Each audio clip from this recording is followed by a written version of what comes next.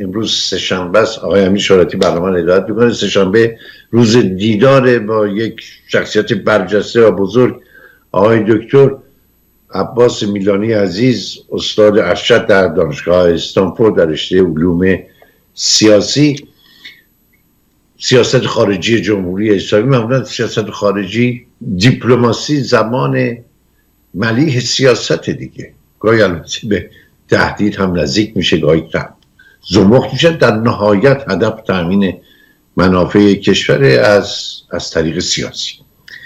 در جمهوری اسلامی درست برعکس. این سیاست خارجی یعنی زبان توهم زبان تهدید. کاری بوده که در این 42 سال صورت گرفته و زبان دشمن تراشی. نیرومندترین زبان دشمن تراشی دیپلماسی جمهوری اسلامی بوده در کل جهان. آقای دکتر عباس میدانی عزیز خیلی خیلی خوش آمدید. درود بر شما. سلام قربان به شما و به همه بینندگان عزیزتون در هر جای ایران پهناور که تش دارم. امیدوارم حال شما خوب باشه. دکتر میلانی قبل از که بپردازیم به اصل قضیه یعنی برگردیم به سیاست خارجی جمهوری اسلامی در این در از, از زمان آغاز حکومت اسلامی تا به امروز یه نگاهی بکنیم. الان به زل دیگری از مصیبت هایی که جمهوری اسلامی در منطقه آفریده همس کمرش شکست. واقعیت اینه. پریروز آقای علی اکبر ولادی یعنی باز یکی از کارگزاران دیپلماسی جمهوری اسلامی اعلام کرد که ما به زودی در قدس شریف نماز جماعت می‌خونیم به امامت امام خامنه ای رسانه های جمهوری اسلامی از روز اول که شروع شد موشک باران او هایی که انتخاب کردن مثلا به روزنامه کیهان. امروز نگاه کنید به روزنامه ها تقریبا همه ساکت شدن. یعنی خبرها دیگه از صفحه اول رفته به صفحات لایی. سراپا گوش. می‌دونید وقتی سیاست سیاست خارجی و در مورد ایران هم سیاست خارجی هم سیاست داخلی بر اساس شعار باشه و نه حاصل همین میشه. شعارهای خالی شعارهای خالی که مصالح ایران رو قطعا در نظر نداره مصالح یک دار دسته ای رو در نظر داره که بر ایران مستولی شدن و چهل و دو ساله دارن به زور بر این مملکت حکومت می‌کنن. هر روز کفگیرشون بیشتر به تایید می‌خوره و هرچی بیشتر به تایید می‌خوره فشارشون بر مردم ایران بیشتر میشه. و بیشتر آماده که مردم دیگر رو هم در این راه قربانی بکنن. یعنی اصلا ابایی ندارن که الان مثلا به حزب الله دستور بدن که چند تا موشک دیگه حزب الله به سوی اسرائیل پرتاب بکنه و یک حمله عظیمی از طرف اسرائیل به حزب الله به لبنان بشه لبنان رو داغم بکنه. براشون اصلا مهم نیست. همونطوری که مهم نیست در ایران چه بگذره. همونطوری که مهم نیست در چند صد هزار نفر به کرونا از بین برن. براشون قضیه کاملا وسیله است. وسیله تحریک افکار عمومی وسیله تحریک اسرائیل وسیله بزرگ داشته قاسم سلیمانی که عکسشو بذاره شیخ نصرالله کنارش و بگه که بله ما همه اسلحه هامونو از اون گرفتیم. ویرانی که بر سر غزه آمده و اخلالی که در زندگی هم مردم غزه هم مردم اسرائیل کرده. هر دو طرف اینها الان طرف در واقع نوعی جنگ هستن. جنگ نابرابری است. قطعا اسرائیل توانش بسیار بیشتره ولی به هر حال محرک اینا هستن. عامل اصلی دعوا آغاز اصلی دعوا سیاست های به گمان من نادرستی بود که جناح دست راست افراطی اسرائیل در اورشلیم داشت اجرا می‌کرد.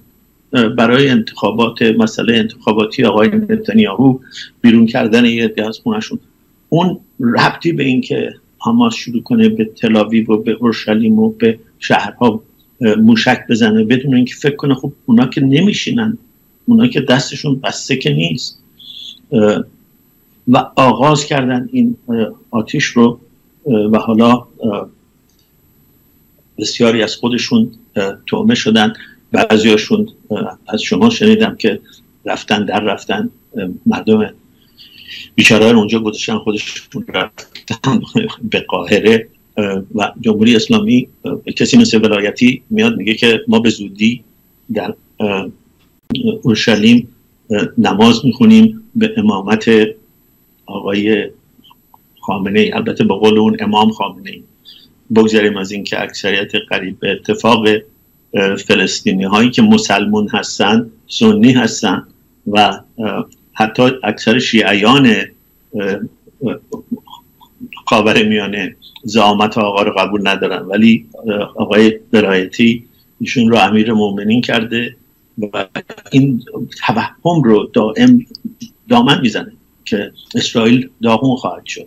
اسرائیل ویران خواهد شد. اسرائیل از صحنه محو خواهد شد. اسرائیل جایی نمیره. اسرائیل اونجا مونده. امید من اینه.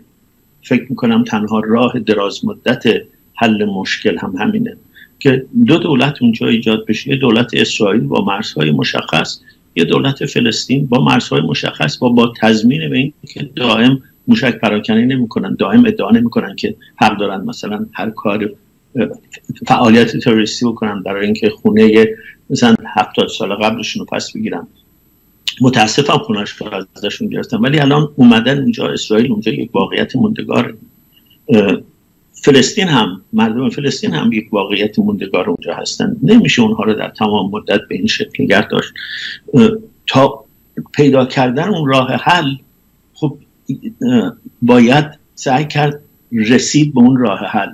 چون سیاست خارجی دوران شاه رو در موردش صحبت می‌کردیم خب این اختلافات در دوران شاه هم بود کمی دیگه. الان حادتر شده تعداد جنگ ها بیشتر شده. برای اینکه کشوری مثل ایران هست که به اینها موشک میده که و بهشون اجازه میده که از این موشک ها استفاده کنن در دوران شاه تمام تلاش سیاست خارجی شاه به خصوص در دهه هفتاد در ده سال آخر.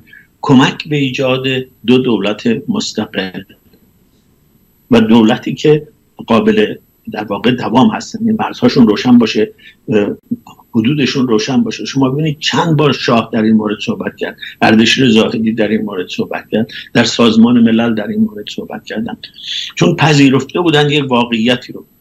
ایران اول این در کنار ترکیه اولین کشوری است که متوجه شد اسرائیل اونجا آمده و موندگاره. محوش نمیشه کرد. باش روابط عملا روابط دیپلماتیک برقرار کرد. از هزار درست بعد از تأسیس دولت اسرائیل. و در تمام اون مدت این روابط رو حفظ کرد. تمام اون مدت این روابط رو گسترده کرد گسترده تر کرد و در این حال روابطش رو با دیگران هم حفظ کرد و از دفاع از حق مردم فلسطین برای داشتن یک دولت هم ابایی نداشت. اینها تمام توهمشون از روز اول و توهم ریاکارانشون از روز اول این بود که اسرائیل باید محو بشه. حتما بینندگانتون که در ایران هستن اونهایی که در اون زمان در ایران بودن یادشون هست. تو جاده ها نقشه میذاشتن. تا قزوین 100 کیلومتر تا قدس 2000 کیلومتر. هدف بعدی از اینجا قدسه. درست در همون زمانی که با دولت اسرائیل معامله کردن و اسلحه از دولت اسرائیل خریدن. میگم ریاکاری دقیقا همینطوره. منظورم همینه. اساسش یه توهمه.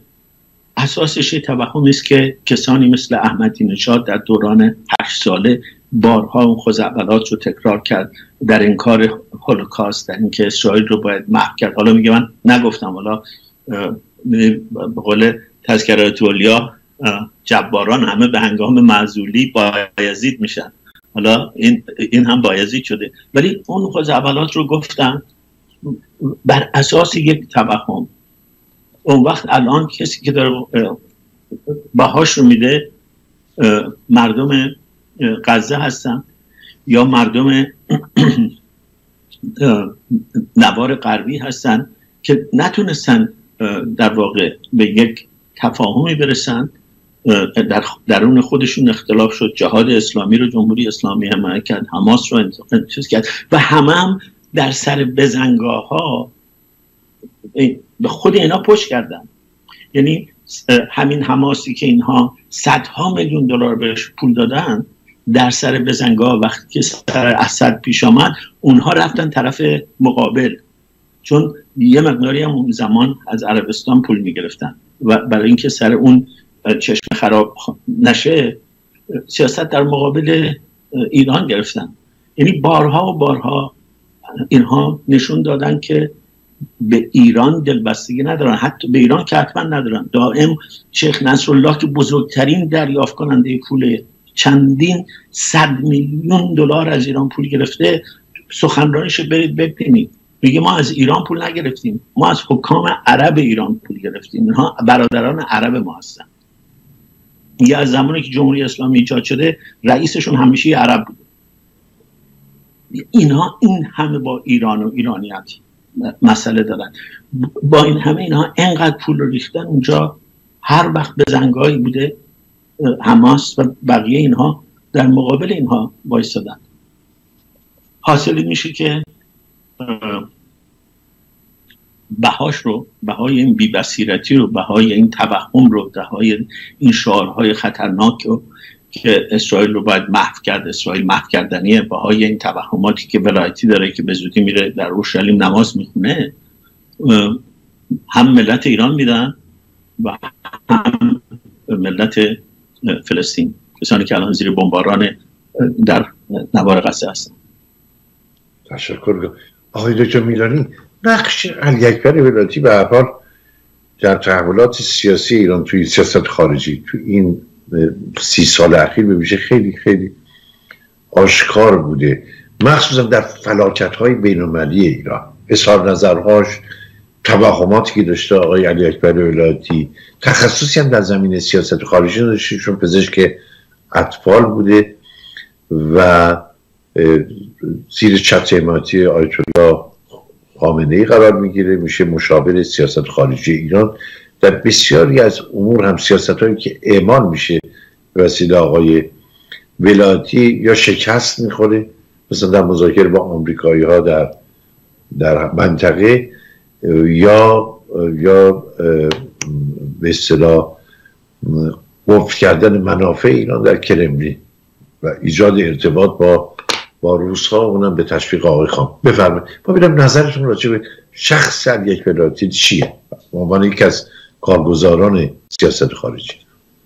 من فکر کنم آقای ولایتی یک انسان میان است که تمام شواهد نشون میده که اگر تخصصی داشته در زمینه همین پزشکی کودکان بوده نمی‌دونم چقدر پزشک ماهری بوده ولی قطعا در سیاست خارجی در مفهوم واقعی یک انسان میان است که بازیچه آقای خامنه است.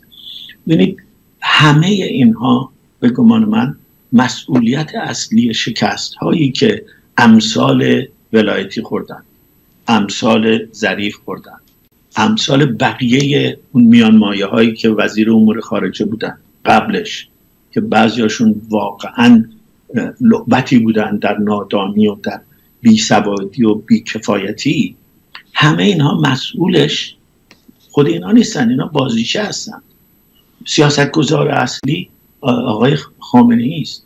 اوست که مملکت رو کشتی این ایرانی که باید الان در اوج شکوفایی می بود به گل نشونده به خاطر اینکه تصورش از اداره اداره مملکت تصور استبدادی است. تصورش اینه که در همه مسائل حق دخالت داره. تصورش از آدم هایی که برگزیده برای برگماردن در مهمترین پست های مملکت. ببینید چیه؟ قالیباف صدر مفسده.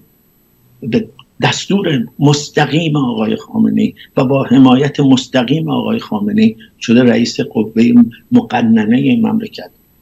کسی که دزدیاش دزدی خودش خانوادهش همسرش برادرش در مجلس استصوابی نکبت زده خود اینها مطرح شده. به زور آقای خامنه‌ای شده رئیس قوه مقننه. رئیس قوه قضاییه یک کسی مثل آقای رئیسی است. الان کاندید برگزیده آقای خامنه ای برای ریاست جمهور و ظاهرا برای رهبر بعدی خود آقای رئیسی است. کسی که دستش به خونه چهار هزار نفر آلوده است. کسی که الان اگر رئیس جمهور بشه اکثر کشورهای جهان بره ممکنه بازداشتش بکنن. به خاطر اینکه فعالین حقوق بشر اگر فعالین حقوق بشر ایران جدی باشن حتما الان و خیلی هاشون هستن. پرونده آقای رئیسی الان در دادگاه ها مطرحه نقششون مطرحه یک کسی که همدست او بوده الان در سوئد در زندانه. رئیسی کجا می‌تونه خارج از ایران؟ به غیر از روسیه و چین و کره شمالی و شاید عراق. عراقش هم دیگه, دیگه ممکن معلوم نباشه. عراقی هم ممکن تحویلش بدن. اینها همه برگزیده های آقای خامنه ای هستن. او هست که سیاست رو کج گذاشته. مفهوم ولایت فقیه هست که با اساس استقلال و حاکمیت مردم ایران در تضاده مردم ایرانی که 110 سال پیش انقلاب مشروطی کردن برای اینکه بگن حاکم ما این نه سلطان. الان زیر یوق یه رژیمی هستن که میگه شما اصلا سقیری اون وقتم بی خود حق چیز کردید اون وقتم باید به آیت الله نوری گوش می‌کردید اون پای بست که مملکت رو به اینجا کشونده متاسفانه از اقتصادش بگیرید تا وضع سیستم بانکیش تا وضع کروناش تا وضع قوه مقننش. ببینید این مجلس انقلابی لوایعی که گذر می‌کردن. وضع جامعه رو ببینید پدر و مادری که انقدر از بچه به سلوک میارن که بچه رو تیکه تیکه می‌کنن و میندازن. پدری رو ببینید که دخترش رو با داست می‌کشه. برادرزاده و امو و پسر رو نمی‌دونم هر شخصیتی رو بگیرید که نفر رو به جرم همجنس بازی می‌برن در خیابون تیکه تیکه می‌کنن در تیکه می‌کنن. چقدر از این اتفاقات داره در مملکت میفته تازه اینهایی است که میاد به سطح بالا. چقدر در روستاها از این کشتارها میشه از این فشارها بر زنها میاد بر جوانها میاد. یک مملکتی به قول دوستم می‌گفت مثل که همه دیوانه شدن. میترسم مثلا از خیابون از خونه خودمون بریم بیرون. اینها حاصل دو سال بی بصیرتی است دو سال حکومت به زور 42 سال حکومت بر اساس اوهامه. بر اساس این توهم که چون من حدیث بردم و حدیث مدعی که رفتار پیغمبر رو در مدینه 1400 سال پیش توضیح دقیق میده بگذاریم از تعداد احادیثی که خودشون میگن کذابین چاپ درست کردن. چون من اونو بلدم امروز باید بر مردم ایران حکومت بکنم. امروز حق دارم به زنان ایران بگم شما نمی‌تونید در بخش اعظم مقام ها شرکت بکنید لباستون رو من براتون تعیین می‌کنم. علاقه جنسیتون رو من براتون تعیین می‌کنم. سلوکتون رو با بچهتون من براتون تعیین می‌کنم. چی کاره هستید شما؟ ایران مملکتی است که میگم 120 سال پیش انقلاب مشروطه داشته جنبش تنباکو داشته. زنان ایران زنایی هستن که 150 سال پیش قررت داشتن. از همه روحانیان اون زمان باهوشتر بوده با فضتر بوده. و از طریق شنیدن با هر کدومشون می‌تونست مجادله و مباحثه بکنه. به این زنها شما می‌خواید الان زور بگی خب نمیشه. حاصل همین میشه که شده یه جامعه به بنبست خورده یه جامعه به خشونت کشیده شده. یه جامعه مستاصل یه جامعه عصبانی. چند میلیون معتاد چند به قول خودشون سی درصد 25 درصد مردم رسما دچار افسردگی هستن. این چه وضعیه درست کردن برای ایران؟ تشکر.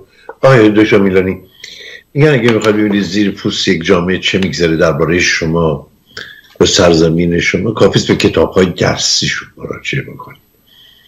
خب کتاب های درسی در عراق اگر کتابی که برای بچه ها نوشته می‌شد خب در اونجا دیدگاه هایی که مطرح می‌شد علیه ما بود علیه شیعیان علی اصول به ویژه ایرانی ها یا در دوره حافظ اسد کتاب های درسی دوره حافظ اسد اسناد به نظر فوق است.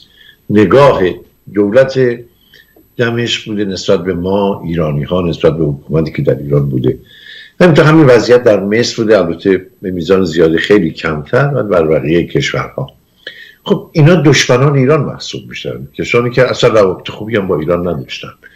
بدترین جمال عبد ناصر بوده. عرب الخلیج و جنوب و علا کل عربی یهاب المستعمرون. قرار این شعار آقای جمال عبد ناصر بوده. علیه ما اولین چیزی که تخم لق خلیج رو شکست آقای عبد ناصر بود. یعنی برای اولین بار خلیج فارس به عنوان خلیج معرفی می‌شد. این کشورها بعدها تبدیل شد مثلا مصر تبدیل شد که دوستان و متحدان ایران. در دوره انور و سادات عراق به همین ترتیب.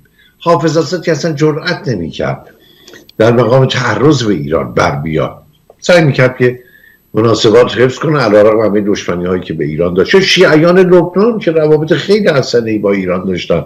در دوره امام موسی سگ همه اینا تبدیل دشمن شدن. و خب به نظرم نشون دهنده این سیاست و توهم جمهوری اسلامی است به ما بفرمایید ببینم که این دوره شاه مثلا مناسبات ما با فلسطینی ها مناسبات ما با با کشورهای منطقه که به نظرم خیلی در نهایت زرافت هم این سیاست ها پیش میرن برخی از دولت های خاور میانه سیاست های تکبودی داشتن. سیاسفید بود. در ایران به نظر می‌رسه که شاه دنبال سیاست خاکستری میگشت. بفرمایید. به نظر من کاملا در مورد فلسطین مثلا به طور مشخص نگاه بکنید. ببینید اون زمان خب نیروهای اسلامی در جریانات فلسطین قدرتی نداشتن دیگه. اون وقت بیشتر الفت بود و یاسر عرفات بود و حبش بود و این گروه های یا ملیگرای فلسطین یا چپ فلسطین بودن. نیروهای اسلامی بعد از ایجاد جمهوری اسلامی در واقع شروع کردن پا گرفتن از تو در میان فلسطینی ها ولی در اون زمان سازمان الفت یکی از مراکز اصلی تعلیم چیریک های ایران بود. چه مجاهدین خلق رو بگیرید چه فدایان خلق رو بگیرید چه گروه پاک نژاد رو بگیرید که اصلا معروف بودن به گروه فلسطین. خارج می شدن از ایران از طریق عراق می‌رفتن یا از طریق لبنان می‌رفتن با فلسطین تماس می گرفتن اونجا می‌رفتن تمرین فعالیت های چریکی میدن ناصر رو اشاره کردیم. وقتی که اوایل 1960 63 شریعتی میاد اروپا اینا تصمیم می‌گیرن شریعتی و چمران و چند تا دیگه از این گروه های از این شخصیت های مذهبی که در واقع می‌خواستن فعالیت چریکی بکنن تصمیم می‌گیرن که برن تمرین چریکی ببینن. و با وساطت ظاهرا تیمسار بختیار در اون زمان با ناصر تماس می‌گیرن و قرار برن در مصر مصر همون ناصری که شما گفتید تمرین چریکی بکنن شریعتی جا می‌زنه نمیره. بقیه هم تصمیم می‌گیرن نرن بالاخره از طریق فلسطین میرن.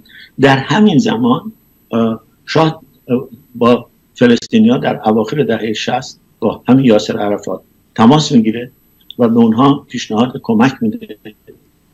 و دو فقره چک در اون زمان برای یاسر عرفات میفرسته. این اولین اسناد از مجموعه اسناد شگفت انگیز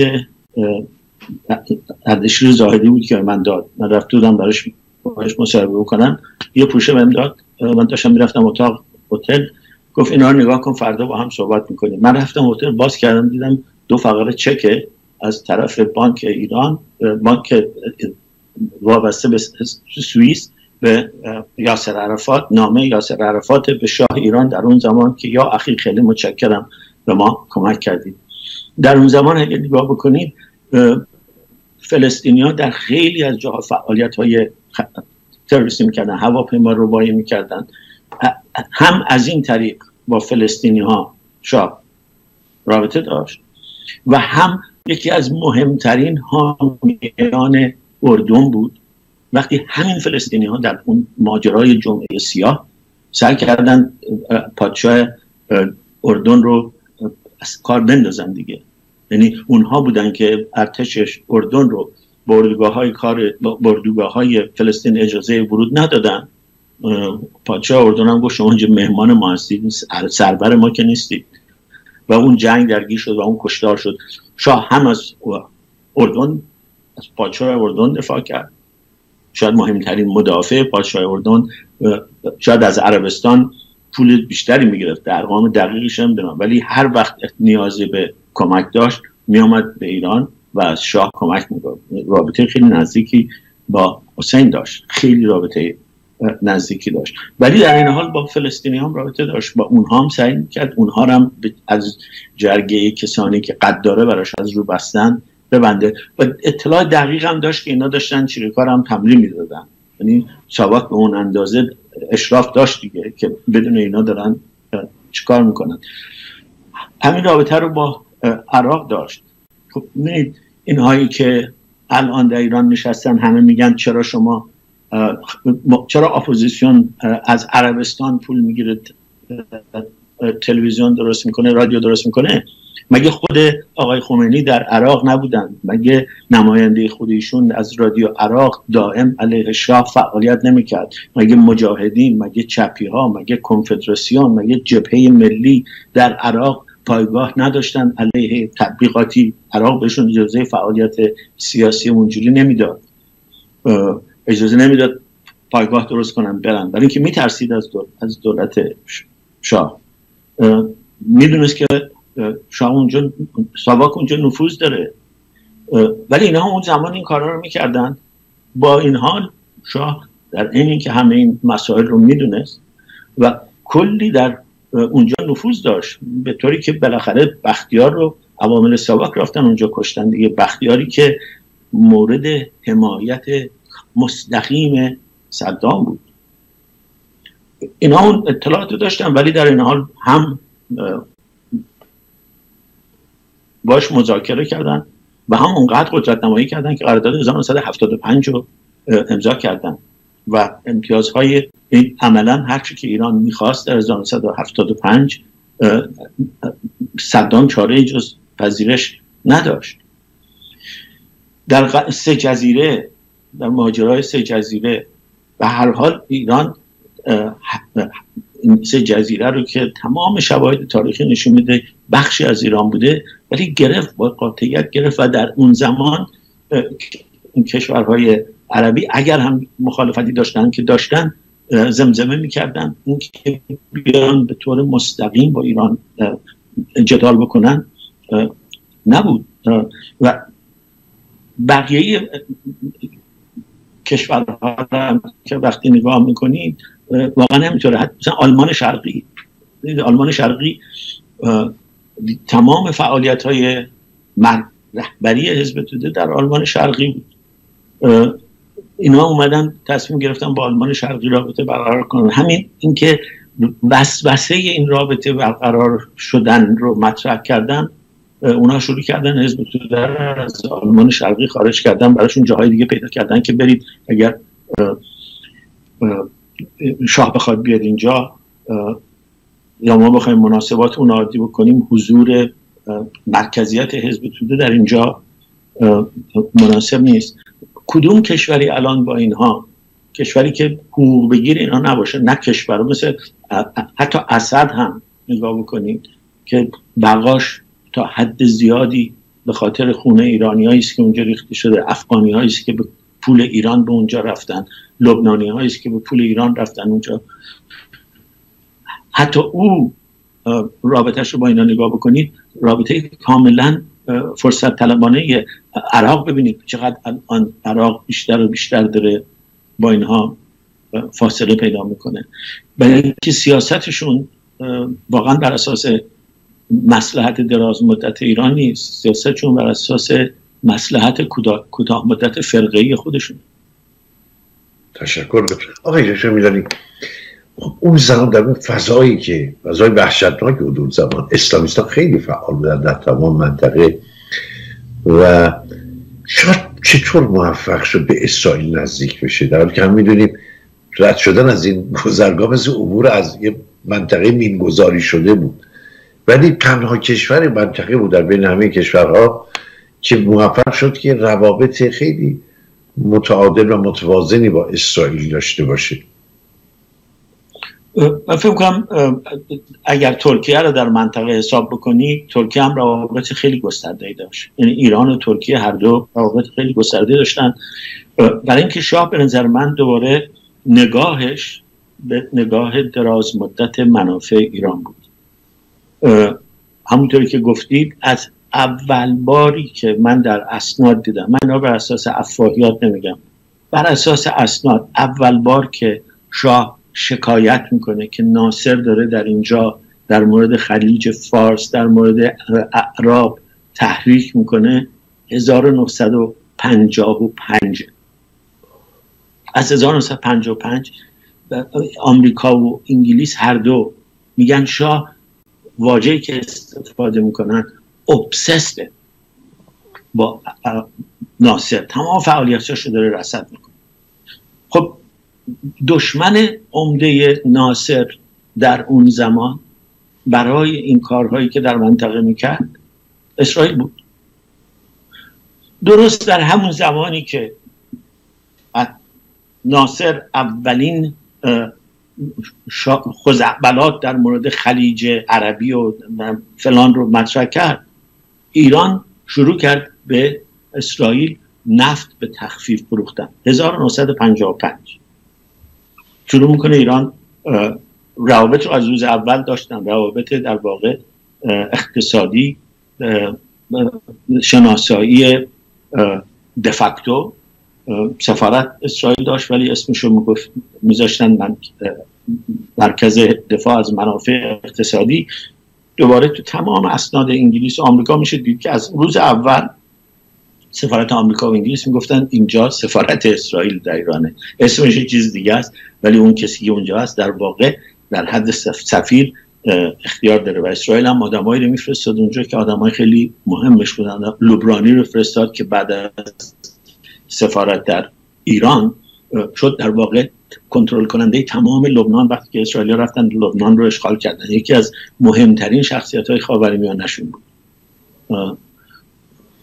از همون زمان شاه متوجه شد که اسرائیل نه تنها باید به رسمیتش بشناسه و به رسمیتش شناخته با هم منافع مشترک دارن در مقابل با ناسیونالیزم افراطی عرب که داره توی ایران شیطنت می‌کنه تو عربستان تو یمن بعدا تو زفار از 1956 57 با اسرائیل یه مرکز تبلیغاتی مشترک در اهواز درست کردن برای تبلیغ به زبان عربی.